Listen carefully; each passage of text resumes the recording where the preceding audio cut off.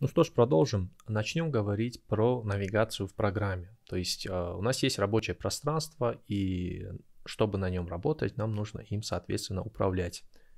Для этого выделяем куб левой кнопкой мыши и начинаем, соответственно, вокруг него крутиться. Для этого мы зажимаем среднюю кнопку мыши, не отпускаем и начинаем э, двигать мышку влево либо вправо. Тем самым мы видим то, что э, мы начинаем вращаться вокруг нашего объекта. То есть без разницы можем э, мышку также двинуть вверх, либо вниз. Тем самым крутить. Но первый раз, когда открываешь, э, начинаешь крутиться вокруг объекта, первое, что хочется это делать, просто вот крутить его во все возможные стороны.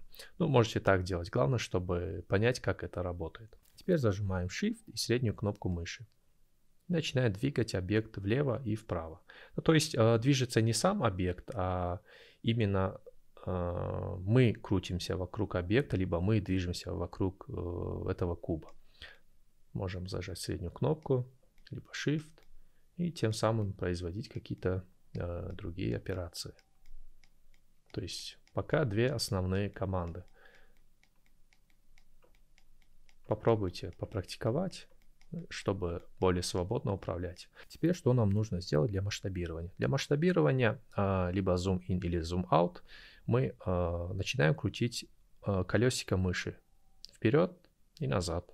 Тем самым можно увеличить либо отдалить наш объект. И теперь пробуем все это скомбинировать. Shift средняя кнопка. Крутим, крутим, крутим. Так.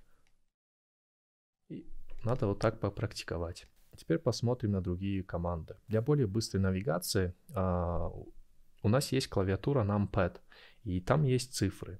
То есть, а, если вы работаете на ноутбуке, то а, вам будет чуть посложнее. Желательно а, приобрести клавиатуру. Допустим, можем нажать на циферку 1. А, нажимаем на цифру 1. То есть нажали на цифру 1. А, у нас выходит а, front orthographic. Нажимаю на цифру 3. Right orthographic. То есть э, мы смотрим на объект справа. Нажимаем на 7. 7 это топ, то есть вид сверху. И можно сделать обратное. Э, как, например, посмотреть не сверху, а снизу. Для этого мы зажимаем Ctrl и 7. То есть bottom. 1, если это у нас front. Ctrl 1 это у нас назад. 3, если это у нас справа, то Ctrl 3 это будет лево. То есть вот здесь все пишет. Можно и можно тут э, продолжить дальше э, выполнять там другие команды. Нажимать на middle mouse, на shift с middle mouse, либо zoom in, zoom out. Так, у нас сейчас объект стоит в перспективе. Это то есть э, нормально. Это хорошо, это так и должно быть. А для этого, чтобы убрать объект из перспективы и, то есть включить более очень длинную линзу, или другими словами orthographic view, для этого мы нажимаем цифру 5 на клавиатуре. То есть, видите, как изменяется. 5 возвращает. Это orthographic. Тут нету перспективы, это объект как будто в двухмерном пространстве. В дальнейшем это нам пригодится, но пока э, оставим все, что было. А, то есть подытожим. У нас есть, э, зажимаем среднюю кнопку, у нас мы крутимся вокруг объекта,